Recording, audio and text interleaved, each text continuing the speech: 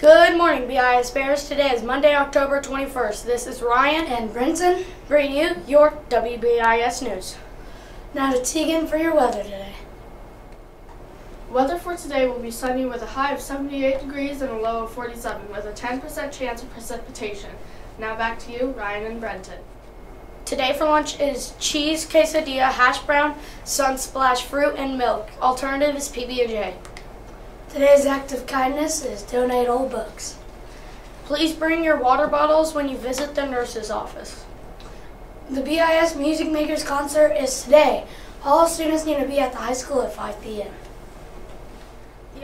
The office is having a coloring contest for this week only. Pictures must be completely done before turning in, and only one paper per student.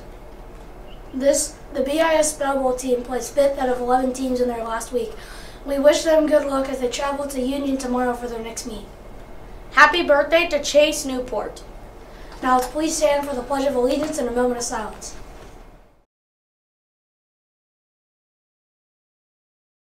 I pledge allegiance to the flag of the United States of America and to the republic for which it stands, one nation, under God, indivisible, with liberty and justice.